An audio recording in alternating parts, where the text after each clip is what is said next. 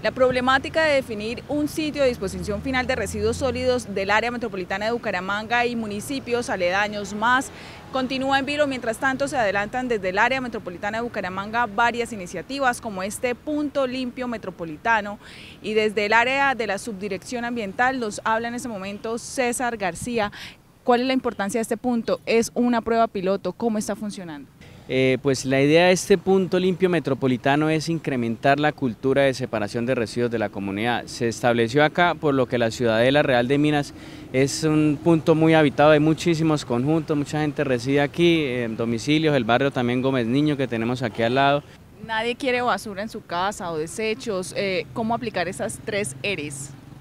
Bueno, sí, lo de reducir, bueno, la idea es eso, o sea, entre menos residuos se generen, un ejemplo pequeño y claro puede ser las bolsas plásticas que nos dan en los supermercados. Ojalá tener cada una bolsa, uno, una bolsa reutilizable porque son bolsas que se usan 10, 15 minutos desde que nos empacan el producto hasta que llegamos a la casa a desempacarlo y termina eso en la basura. O sea, utilizar la mínima cantidad de bolsas.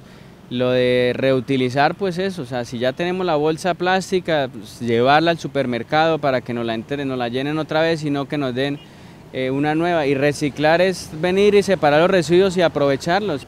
Bueno, bien dicen que la casa más limpia no es la que más se barre, sino la que menos ensucia. Con iniciativas como esta se busca generar conciencia en los habitantes de la capital de Santander.